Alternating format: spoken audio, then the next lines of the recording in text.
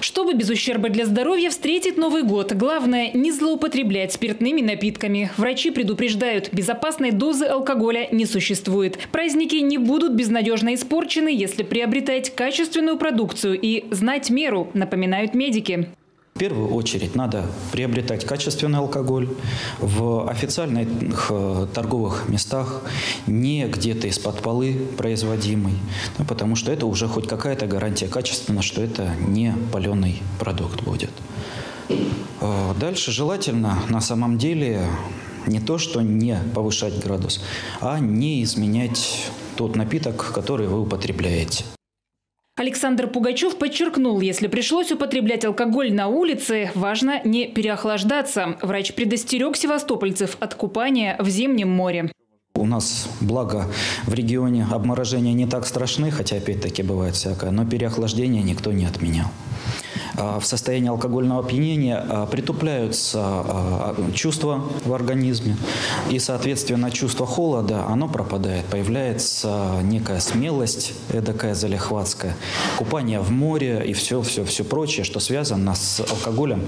Случае алкогольной интоксикации Александр Пугачев посоветовал принимать адсорбирующие средства, например, активированный уголь.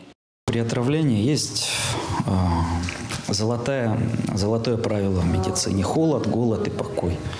Ну, то есть не есть в дальнейшем, да, потому что отравление страдает и поджелудочная железа, и печень, соответственно, их лучше не беспокоить, особенно жирную пищу надо исключить. Если все-таки пришлось выпить алкоголя сверх меры, врач настоятельно не рекомендовал лечить подобное подобным. Ни в коем случае, ни при каких условиях от всего сердца совет не э, добавлять алкоголя сверху, да, то, что называется похмеляться.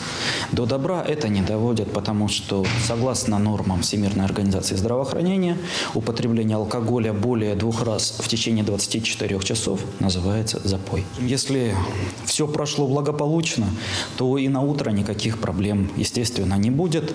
Встанете и с семьей семьей продолжить замечательные, чудесные праздники. Врачи напоминают и о безопасности на дорогах. За руль автомобиля не стоит садиться в течение суток после застолья с алкогольными напитками. Екатерина Коломеец, Юрий Реутин, Севинформбюро.